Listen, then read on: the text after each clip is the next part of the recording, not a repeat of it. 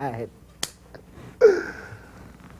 Jerry Jemmott, Good to see you glad again. to have you here. Thank you, thank you. Pleasure. I hope we can get some illuminating secrets from you today. And I'm going to give it all up today. all up. Okay. All up. All right. I don't know if that's possible, but we're going to try. anyway, uh, we've been playing together a number of years. I'd say it's about nine years already, and um, I spent about eight years before that wishing I could be playing with you.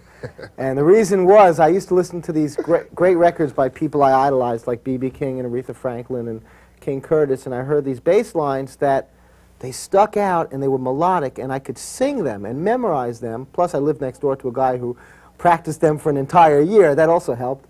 But, um, but they, were, they were so unique and, and just really stood out. And um, yet, you're totally locked into the groove. You're truly the groove master. I know you've got that. You've, you've had that uh, title for a while, and it's true. It's really true. You've got your own fantastic style that, of course, has been emulated by many greats that have gone on to, you know, go another direction. That's what we hope to do with this tape, too, is to develop, you know, help students out there develop their own style. But they've got to know where it all came from. Now, where did it come from with you? How did you get started? Who did you listen to? Um, you know, like that. What, what, what can you say about that? Um, I hope you have enough tape. Yeah. Um, how I got started. I got started playing the um, upright bass. Right. used to listen to, I listened to Paul Chambers, and that uh-huh. Who did he play with? he was playing with, with the Miles Davis group. Okay. And I just found out just recently that he, when I heard him, he had just joined the group, approximately. I At that heard time. Him, I heard him in 1957. Mm-hmm. And he had just joined the group in 56. So I caught, you know, whatever albums he recorded, I caught him at an early age, and this it really inspired me. And so I started playing acoustic bass, and Mm-hmm. I played classical music to learn the bass.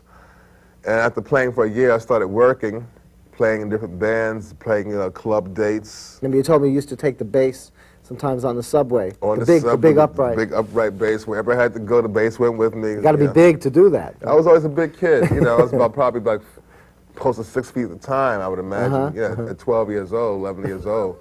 So it was um, That's a lot, yeah. yeah. it was a lot to do, but I was had to see the support of my family. My mother was very, my mother was very um, supportive, so that made it um, easy for me. So do you feel that technique-wise, okay, when you made the shift over from, from acoustic bass, upright bass, to Fender bass, which was ar- around when? Uh, early nine years later. Ni- So nine years later? Nine years later. Uh-huh. Actually, no, that's not true. I, in '64, I think I got a, a bass amp. Okay. So you're talking. That's um, about nine years later. Yeah, something like that. I lose later. track of time. Yeah. Um, but um, the switch was made because of the music scene at the time. I didn't like what Right. was happening. Right. And so I said, well, no, um, I want to play, play some music that would be more uh, responsive, the people be more, people be more responsive to. Mm-hmm. Okay, so I got into playing rhythm and blues music, which I knew nothing about, only from listening on the radio, which I didn't listen to, because I listened to jazz all the time, you know, so. I had to Mm-hmm. Learn how to play rhythm and blues and how to play the blues, and it, I just uh, once I got into it, I felt I had a I felt I had a strong feeling for it, as I did have a strong feeling for playing jazz. Well, it was still all around you, right? I mean, you grew up, you grew up in the Bronx. Not so right? much though. It wasn't so much being all around me. I had to go. I had to go find it. Really? I had to go. I had to actually go pursue it. When I started playing electric bass, it came to me because I was playing in that type of music. Right. Uh, so I had to learn it on the spot, basically. And Yeah, I said, no, yeah, you're yeah, playing too much. You're playing. Don't play it like that. You know. So I had to Sure. go through a lot. You know. Sure, I've been through that a lot of that in terms of um, growing into playing rhythm and blues. is much Mm-hmm. more organized and um, disciplined. In fact, it's more repetitive. Mm-hmm. So you're playing the same thing over and over again. Right. Which I hadn't gotten used to. But there was a certain beauty in that which I learned to love, and I, I enjoy it. Well, I think therein lies one of your great secrets, though, is what you did with a lot of those rhythm and blues guys, where you would, you know, you start with a, a, apparently sometimes sounding to the naked ear a very basic part, Mm-hmm. and all of a sudden it starts becoming slightly, it gets the Jerry Jemmott signature right away. Oh, yeah. And then it goes, can we have like, let, let's play a little something to demonstrate that. Oh, sure. Okay? Well, say if I was um, playing like, okay, I'm playing, here's the bass line. Now, see, this is the actual bass line. Right. No pickups. I'm playing on one and three. One, two, three, four. One, two, three, four. One, two, three, four.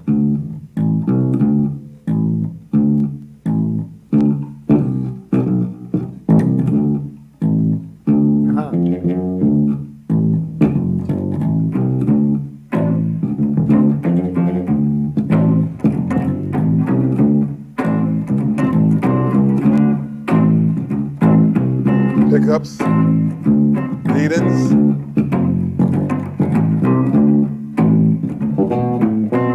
Fill, pickup, fill,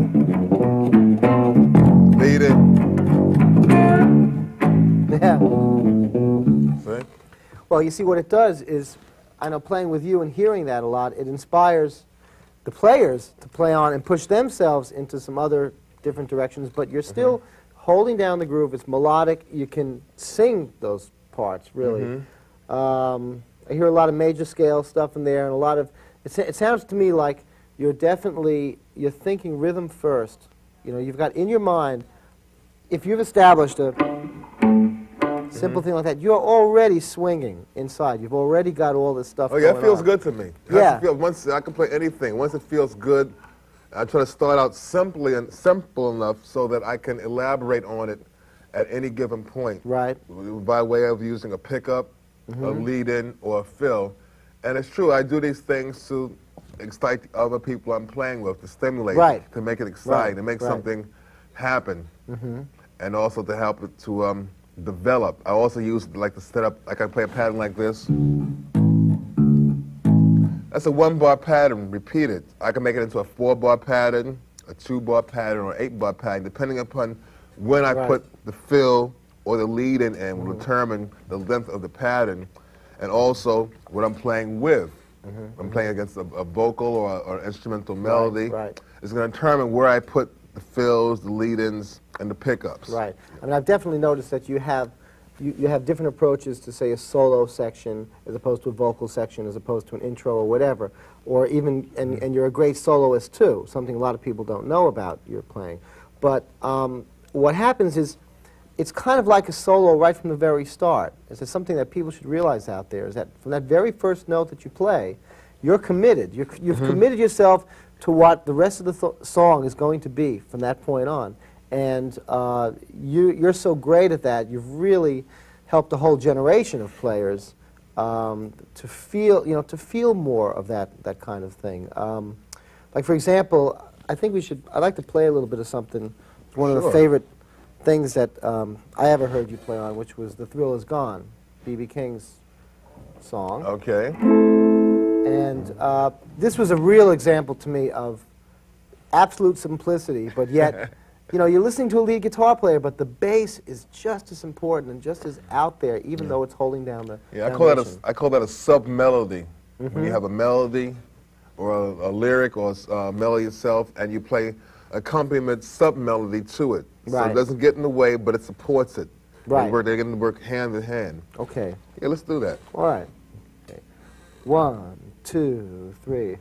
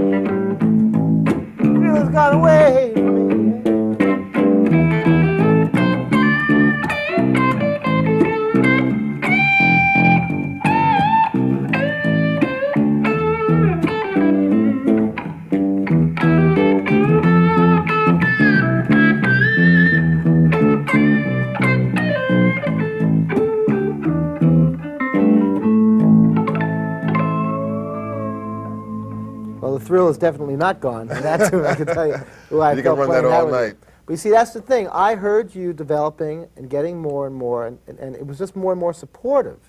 It wasn't all over the place. A lot of guys today, they, te- they tend to start going right up into your range, you know, mm-hmm. guitar player's range or the horn player's range, and, and kind of blurring the whole thing. You, you know, you've got the art of that support down, the groove master. Uh-huh. Okay. How'd you get that, that title? who, who officially gave you that title? Well, from Master? listening, I guess from Uh-huh. listening, that's what it came from. Because I listened hard, hard to um, Mm-hmm. to everything that's going around me. Do you feel that you learned a lot? Like you had a lot of big gigs at a very early age. Do you feel? I know I went through the same kind of thing. Do you feel that you learned a lot in front of people, in front of audiences, on the spot, in the studio, those kind of situations? Oh yes, I respond well to pressure. I'm the type of um, Mm-hmm. I'm the type of person who like. First of all, I hate the practice. I mean, but I Too busy working to I- practice, right? True, this is what happened. I mean, I don't like to practice. I find myself practicing now in certain ways that are more mental than physical. Right. And then so I, certain types of practice I do that cover so much that is so um, intense Yeah. that eliminates long hours of practice at this point because I'm not looking for physical dexterity. It's basically it's this muscle memory that I'm, you know, I'm constantly developing, as, Sure. a, as opposed to physical endurance. Well, you were doing so much playing then. I mean, it was like session after session, and you Yes, I was constantly working. a kid, really. You know. But being under that pressure, it brings out the best in me. Right. And a lot of people Right. feel that way also with, in terms of their own experience. The practice um, Mm-hmm. pressure experience will bring out the best because you're forced to create on the spot and there's no going back. Mm-hmm. You know, you have to constantly go forward. Now, what about in those days? Okay, you're, you're part of a lot of great rhythm sections, but what about uh, when you in the famous section like with Purdie, Bernard Purdie on drums, Cornell Dupree on guitar, Billy Preston, you know, and all those yeah, guys that was the Aretha tour we did with King Curtis. with the King Curtis. And did you um, do you feel like those guys did they influence your style at all? I mean, I mean, because Purdie is also seems to be like a real master in those embellishments and those. He's very flashy, of Yeah. course, but it just the, the, the way you worked together was just incredible. Oh yeah, well it's a funny story. When we first started working together, it was like um, he taught me an important concept years later, but I didn't realize the drummer would listen to the bass player so heavily. And I'm coming from a school of playing in a jazz situation where we listened to each other, we never copied one another. Everything was like separate. And so it annoyed me the fact that he was always had his bass drum up my behind. Every time I play something, he played along with me, you know. Oh, he was right Oh, there. he was yeah. right there, man. I could not lose him. I would try to lose him, and he was so fast and so quick. I couldn't lose him to save my life. And I would jam myself up trying to lose him. So I finally said, I gave in. I said, oh, come on. Okay, we'll all ride together. Yeah, yeah. But I didn't realize this is what they people would call locking. Mm, Okay? exactly. And I lock in a different way. If I hear somebody playing something, I'll play something Yeah. counter to them. Mm-hmm. I might, you know, I might hit. At, we might hit at one point the same, the same beat. Right. But after that, it's about making it kind of weave together Mm-hmm, as one fabric. But you can see each thread individually. You don't lose the thread. You know, Mm-hmm. Yeah. one fabric is one. You have yellow and you got green. Yeah. Well, he- and yeah. still maintain. I can see he thinks that way too. I know. Uh, I once did a session up in Atlantic, and I was there, and this guy was playing drums, and Bernard Purdie happened to walk by, and they said, "Come on, you got to bring in Bernard to watch this kid play. You know, I want, I want you to see him." So the guy starts. He takes like about a 20 minute solo in front of Purdie, and Purdie's just standing there, very cool, watching. And then at the end, he said, "Well, so what's your advice?" And Purdie said, "You're going to mess up your shoes playing that way." That's the first thing he said. Purdie just said, "I just want to tell you one thing. You're going to mess up your shoes, and just take it easy." And that was it. And then he walked out and was like, "I couldn't believe it." But, but that's I guess that's the essence of his true uh, belief. But no, he's um, you know. But the thing is, okay. Now when we did, we first met when we did um, Robert the Johnson. Robert Johnson. We did the first unknown Crossroads album. That's Hopefully right. someday it will be known.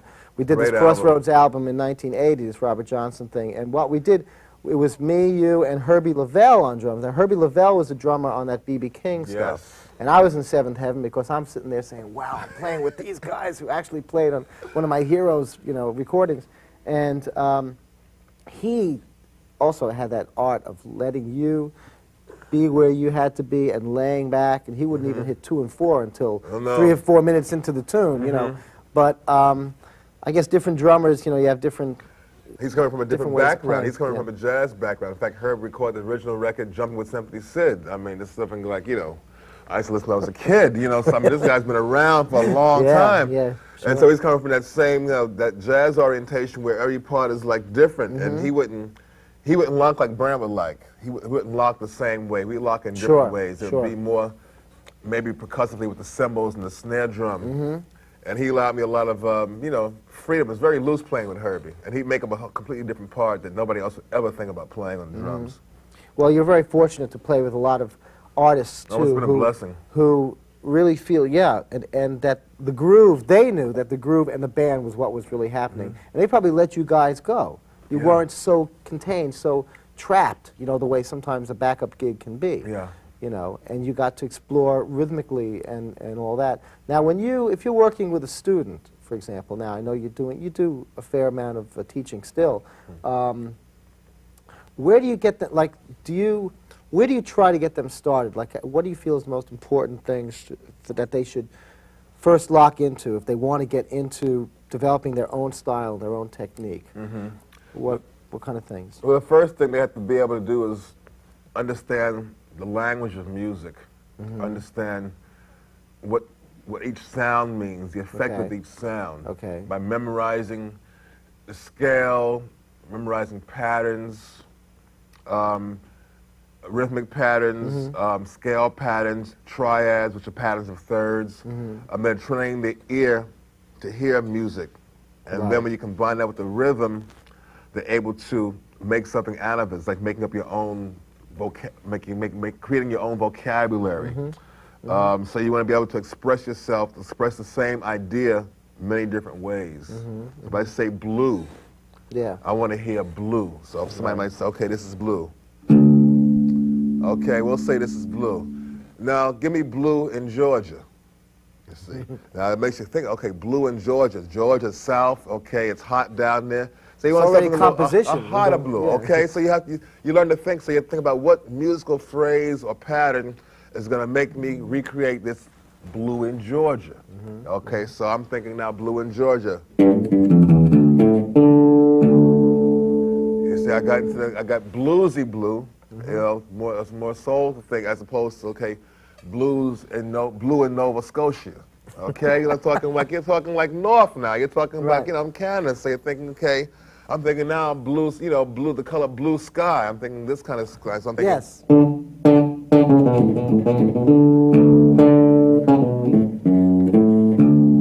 whole different thing comes about in terms of my way of thinking. Rhythmically, I'm thinking one way.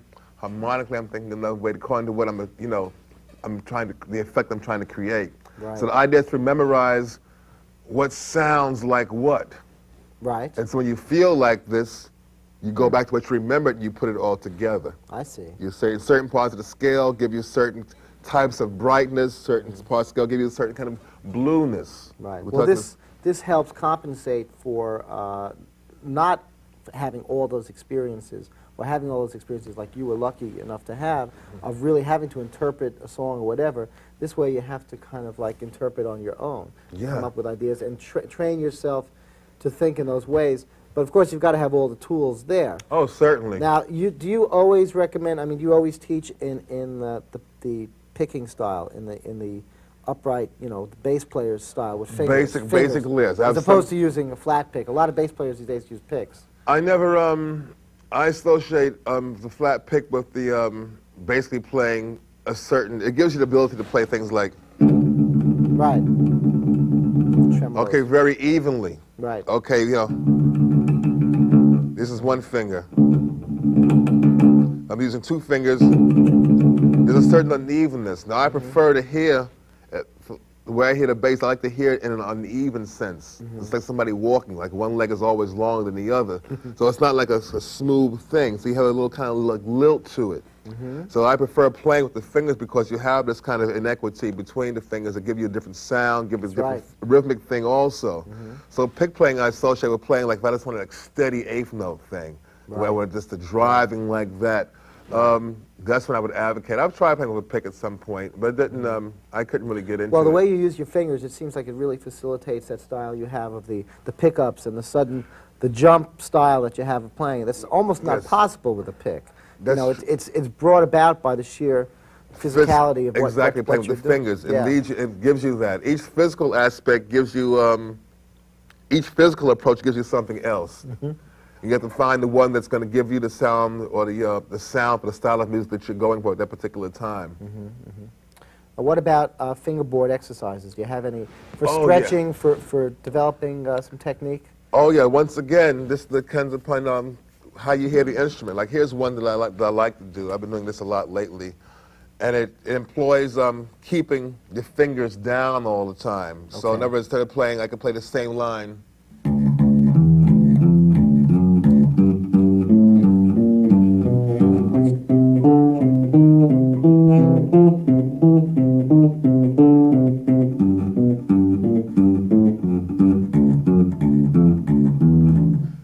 I played that moving my fingers, and this like a lot of people play that way.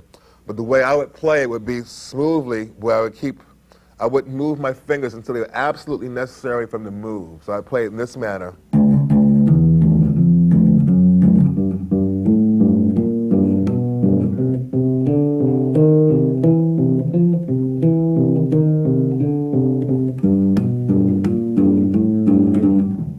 Whoops.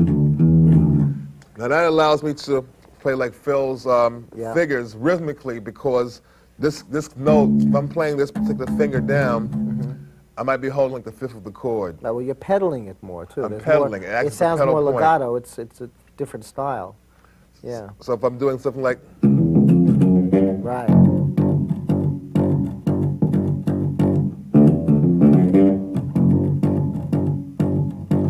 I'm able to combine, com, com, combine the legato-ness of with the rawness of this. Right. Right. It's a question answer. It's like a question answer thing. So I have two different sounds happening. That's And great. I have a smooth phrase against a rough phrase. And I, I use this, um, this is where technique comes in terms of developing a particular style. This Right. is part of my style to um, play things like this. That, and it comes from the technique of playing, doing that. So I do this across the strings.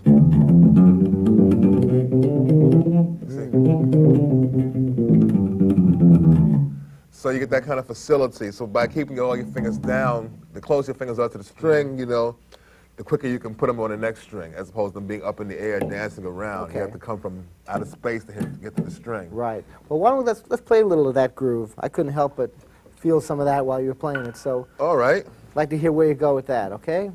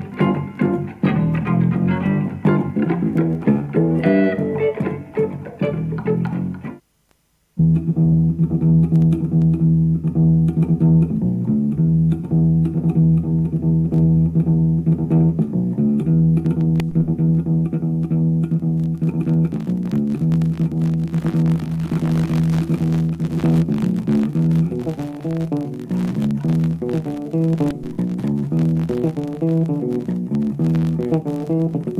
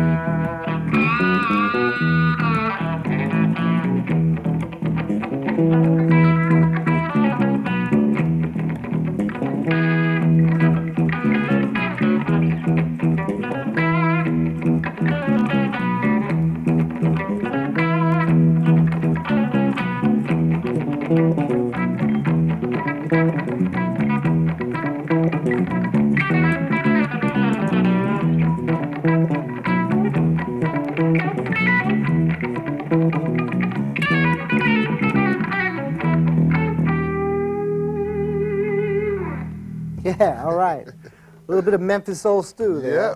It's the renowned Jerry Jemmott lick from that song. Now, how did that develop? I mean, obviously, this is one of your most famous patterns. And from what I understand, the original studio version that uh, King Curtis did, which you weren't on, I think it was Tommy, Tommy Cogbill, Cogbill. now was a whole different story. And then you guys played it live and took it to a whole other direction. And uh, I was sort of simulating the Cornell Dupree guitar part on there. And uh, that, again, is a classic example of just laying down. The bass is almost the lead instrument on that tune to a certain Yeah, degree. we developed it that. It came out that way because basically the original line um, was, I think, was basically this.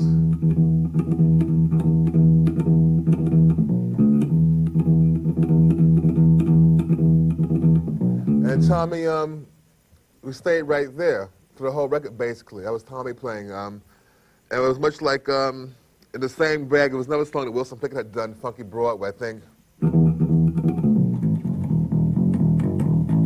Same bass player? That was um, Funky Broadway, with something like that. Mm-hmm. And it's practice, that's the same line basically. You just took that as an Took that intro, rhythm. and then you just went right into that whole Right, other thing. so that was where that was coming from because he Mm-hmm. recorded that first. And so when we did it, um, I combined that, you know. It came time for him to introduce me, I took it to another, I went to another style. I went into like That's right. It a Latin band- thing. That's right. It was the band introduction, as too. It was, it was Exactly. thing first, and then Cornell or whoever. Right. Mhm, right. then the drums Bernard. came in. Right. Mhm. Right. So I, um, coming from um, having been brought up in New York, I had a chance to play a lot of um, Latin American music. Uh-huh. And so this line, I see. it's kind of, it's really, um, it's coming from.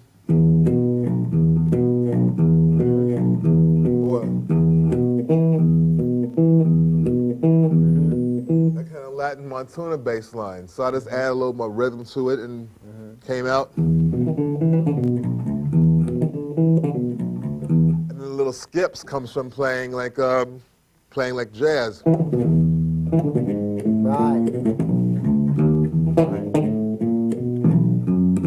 So the combination of playing that, so I had this.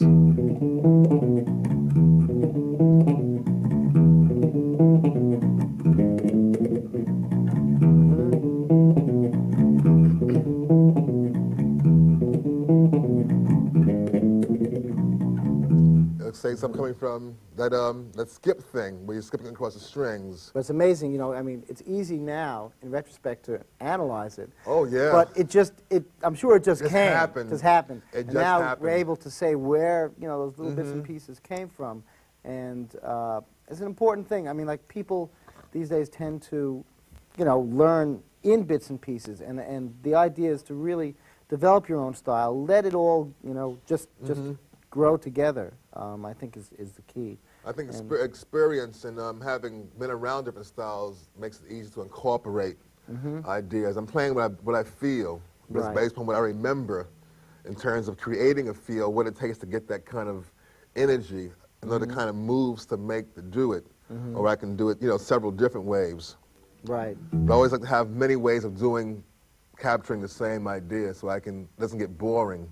Also, one of the great things that you do is, is we can be jamming on something, and you could there'd be an implied new groove in there, and we'll just we'll suddenly shift. You, you can shift really subtly into it, and and change. Just turn it up a notch. Turn it up a notch and change it, or or whatever, and that's. That's something that you know a bass player can do so subtly, and just before you know it, everybody is swinging in that direction. That's right. Um, you can do that in blues. You can do that in, in funk. Anything. you know. Anything. I think what does that, at least from my stand, I do it both harmonically and I do it rhythmically. Mm-hmm. Like I'll, um, if I'm playing a line like um, something, let's, let's, I'll just make up a line Yeah, now, okay. okay? Um,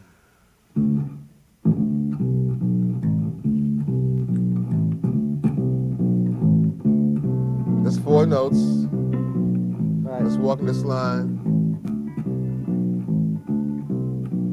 And once again, like I did before in the other um, example, what I'm, gonna, what I'm gonna do is embellish on these four notes by, as sometimes leading the line to play a pickup or leading in the fill. This is basically what I'm always doing. Once I establish a line, I embellish it in that manner. Okay. That's about all you really can do. You know, to, you're gonna, to maintain this line, I have to keep it going, but add to it by playing the pickup, leading, or fill. So I'll play.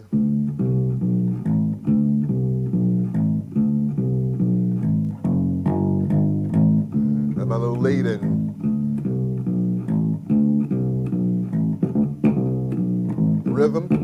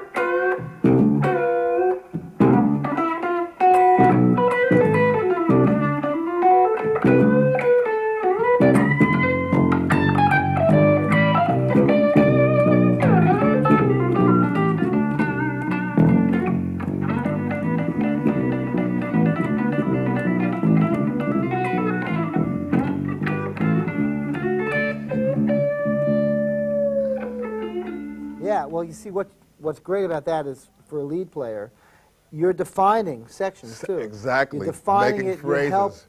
you, you're, you're creating a piece. You're creating a song there. gives you a different framework in which to build on. Mm-hmm. Even playing, even playing the same notes by changing the rhythm of those notes. Mm-hmm. It's, I'm a correct. I can create. A, I can create a, a chorus or a verse or a bridge just Mm-hmm. by playing the same chord. Now we played one chord. Right, one chord. See, which is the hardest thing to do is to make something interesting on one harmonic structure. That's right. It's a good- and make it last. good and make it develop. follow, right. I find it's the best because when you once you change, go to another chord, automatically you're going to another level. Mm-hmm. Okay, so the ear takes you there. mm -hmm. And this is like an automatic procedure, like changing a gear in a car. Right. But this way, it has to be done always internally. Right. I'm always trying to do something with what I'm working with what I have and expanding upon it. Well, again, it goes back to what I was saying. It, to me, it, it really is like from the start, it's a solo. It's like if, if the whole band were playing that and suddenly to break down and leave you alone, the audience could be transfixed on still that line and then em- the embellishments upon it as a bass solo. Mm-hmm. You don't have to be right away up here doing. Oh all this no! stuff. You want to? I would want to build, I mean, build can, it up. You can get fancy. I've seen you do it. I've seen you do some of the tap-ons and hammer-ons and things like that. And yeah, I know you have some tricks. Maybe you could show a few things where you do the chords. Oh, I'll play No, a note here. I'll embellish it that way. You see, Right, I, I love playing low notes. I'll do Right. things with this hand. It's the first Eddie Van Halen of the bass. I want you to know. Right yes. Because I like to keep the bass notes going. Some lines you can play um, where I can sacrifice the bass, like like when I play um, Roger's favorite tune, City Blues. Yeah. When I play it an octave higher. Um, is that right, Key? Right. A sharp. Now see, there's no bass. It's like I'm playing a like I'm playing a rhythm guitar part. Exactly. You see? And when I go into a line, I'm playing. Um, Right. so I'm holding this low note, and I'm playing the rhythm on top of that. So I'm still hearing the low. I like to hear a low note, Mm-hmm. you know, coming from the bass. I always think, you know, that's my main function, is to cover that spectrum of the sound register. Right. So, So I have. Um,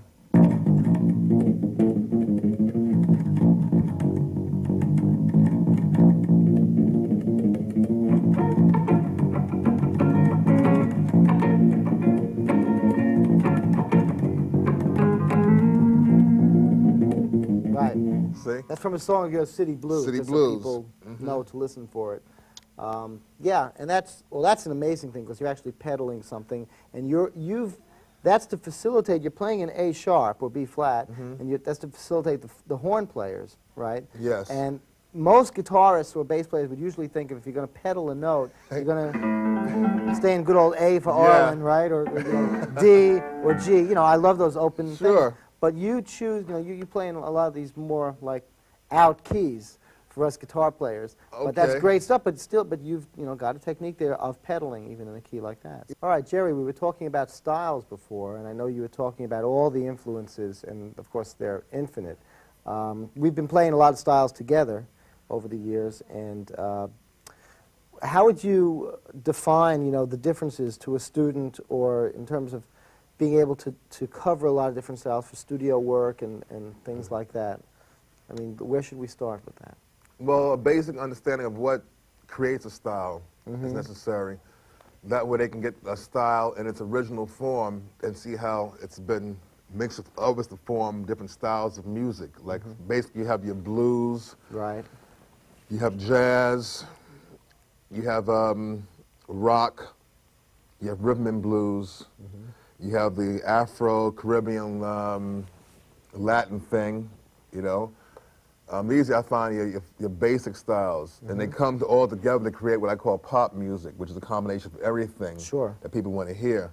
Okay, so um, each style has a definite rhythmic pattern and harmonic structures. Okay, and say for instance I was playing like um, blues. Okay. Okay, Play.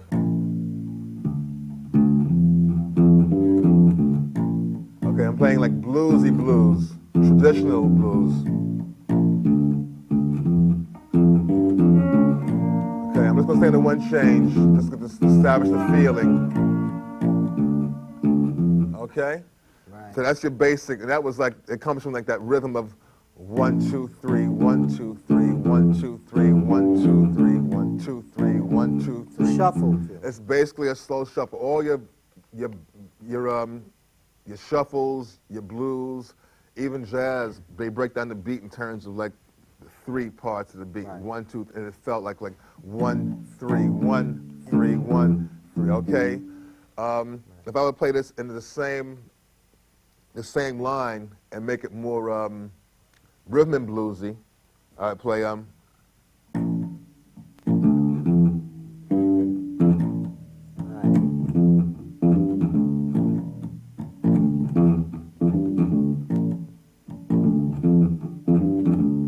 Now I'm playing more. I'm playing now. I'm playing a 16th note feel. I'm playing one E and the two E and the three and the four E and the one. You see, so I'm going from the triplet to like the 16th note, which gives the more R&B feel as Okay. opposed to the triplet thing from the um, the blues. Right. If I was going to make this line into a jazz line, I would still have the shuffle feeling, but the harmony now becomes more expansive because I'm playing in a more ex- expressive medium. It's, it's a freer medium, so I'm playing the same line, which was.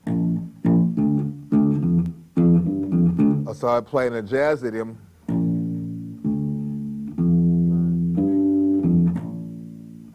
Walking it while walking. But it's still coming from one, two, three, one, two, three. That's going to the change, back to one again. Not so much rhythm. You see the little rhythm here and there, Right, right, but not the constant rhythm of, right. you see? Right. This is looser, so I can play. Right, right. I can put the rhythm any place. Yeah, exactly, subtle.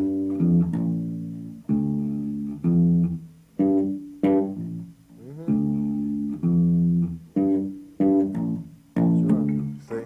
There's so much implied. You know, that's the thing, you know. If I were to play this, say the same progression as a Latin progression, I would play. Um, trying to keep the same tempo. Um,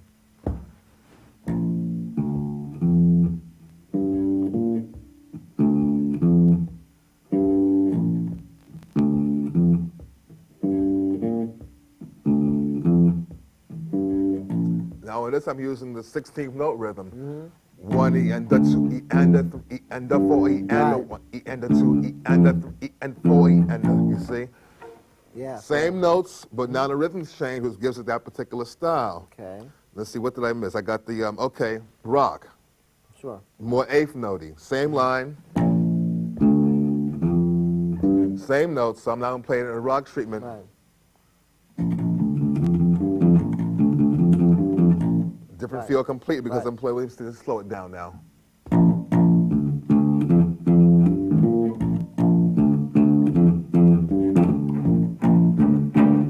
Put on your red dress, baby. Yeah. okay.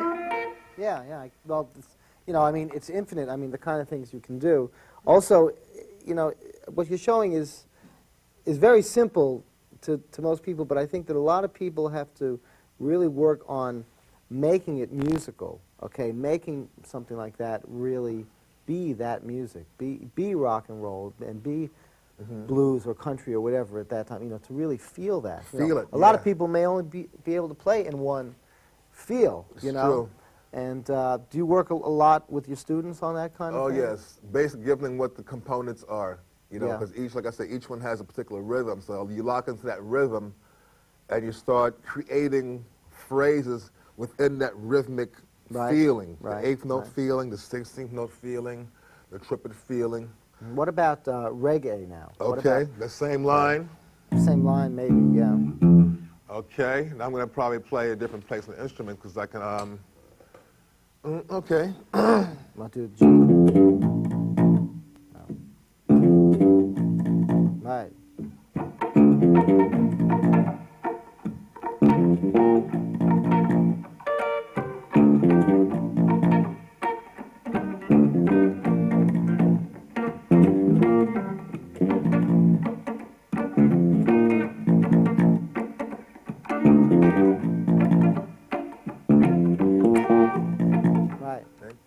Idea there is to um, reggae is so wide open. Some people say don't play on the downbeat, but here's a case where I played the bass note of the chord on the uh, uh, uh, on the one two on the second and third beat, and the pickup was the downbeat. So I have one two three, three, one two three. Right. Yeah, that's that's So that's the idea. that's the main thing is leaving those holes. There's a lot of space, and the guitar there's always. That's why I went to the typical. Mm-hmm. right. Well, it There's fit right always in. that in there, and Does there's some country influence also in, in reggae. That's why those Oh guitar yeah. parts exist. Oh yeah. know? Yeah. Because I know they love country music in Jamaica. So Oh, that's what they used to get. That's the closest thing they can get was music in the South. That's right. So I guess that's- conversation. Yeah, the prob- R&B, yeah. so it's like the natural thing of the environment. yeah. Now, country, the same line in country.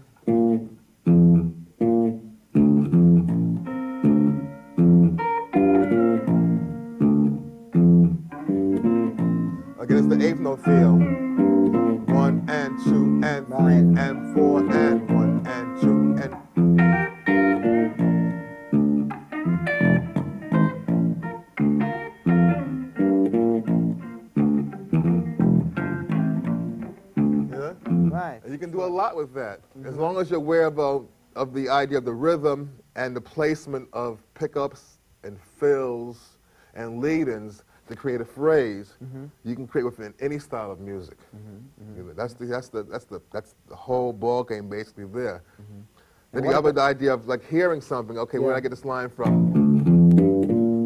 Okay, that's the pentatonic scale.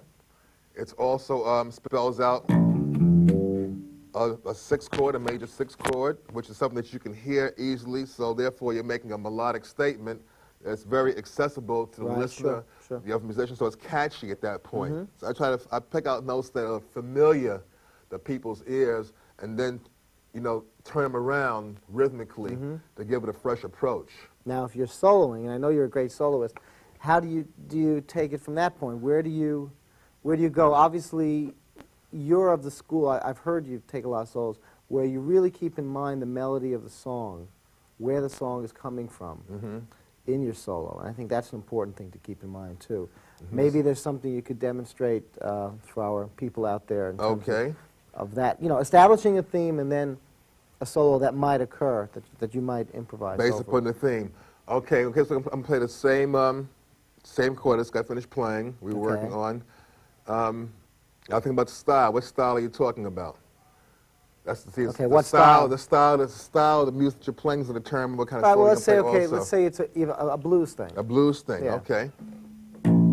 What I would do um, when I jump into a solo, it's like whatever I heard last or whatever because that occurs to me at the time, point of time when it occurs is what I come up with. When I usually, since I'm playing the bass line for the most of the rest of the song, I want to have something that's going to depart from what I'm what I was playing in the bass. So therefore, I was I was playing these notes. Mm-hmm.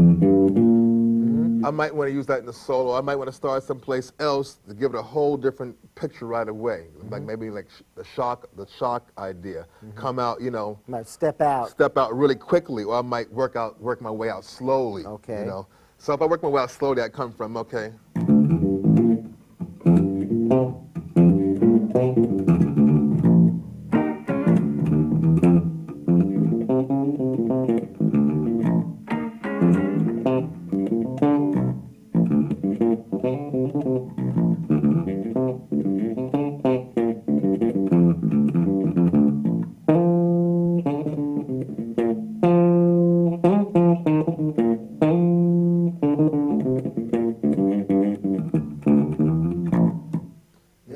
This fifth. That's when I stepped out.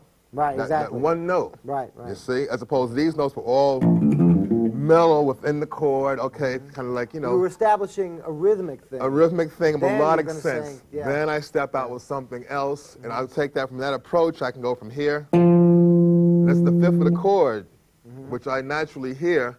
Another note I like to hear is a the flat seven. So my next maybe my next theme might be based upon. Right. Okay, so I'm, I'm stretching the, the ear. I'm stretching the sound so it's going up in terms of intensity. So I'll keep going up the chord mm-hmm. from the root to the third to the fifth to the seventh, or you know, keep to establish this kind of ascend, ascending feel. Right, right. Well, it's incredible because I mean, you really, I hear that that you're actually still picking each note. You know, I mean, like like going back to your your your training, your early training on upright, and uh, I don't hear much of the, you know, uh, there's a little bit of bending. I don't hear much slides or hammer-ons or anything. It's like every note is being is being picked. You know, which is of course a, you know a good way of approaching things and developing technique and. And all that, but I know you do the other stuff. I know you do some string bending as well. and- Yeah, if I You do it as I as I hear it, hammer-ons and- yeah, exactly, as you hear it. I use a lot of hammer-ons.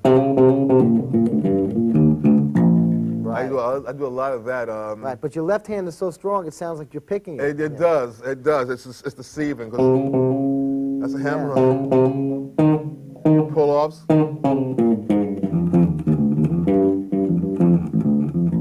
Yes, it's very deceiving. It's like a combination of my right hand and my left hand, but it's not just notes. I'm expressing the notes as for that particular phrase the way I feel them, and I'll do it physically to get the sound that I'm hearing. You know, because sound is most important. Well, we're just about having to wrap up this session. kidding. We I gotta- feel, I gotta feel come back bad about. again. We have to come back again, but I want to know, do you have, have any uh, uh, final words of advice to the students out there before we play out and do a little blues together? I think the most important thing for anybody to learn is to um, learn patterns.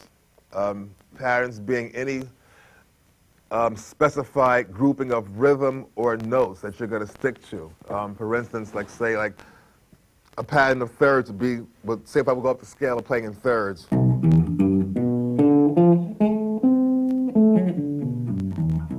Okay, all thirds. That's a pattern. And I do that same pattern starting on another note.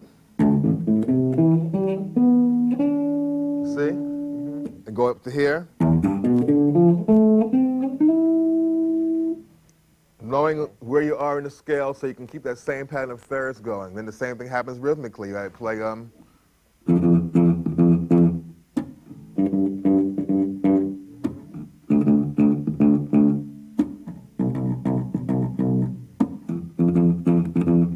keeping that same rhythmic pattern. So you want to be able to analyze it, recognize the pattern so you can do the same thing on any chord you want to do or pick the same harmonic structure. Helpful in studio work. Oh, yeah. For transposition, it's wonderful because right. you can take something in another new key and you know what you're playing so you can transpose it quickly. Well, Jerry, it's just been a pleasure, an honor working with you and playing with you again. And let's let's go out on some blues. All right. Which key you want to do it in? Why don't we do it in uh, A? I Want guess. to A it? Okay, well, A. it. A for Arlen. okay. Take it. A three, four.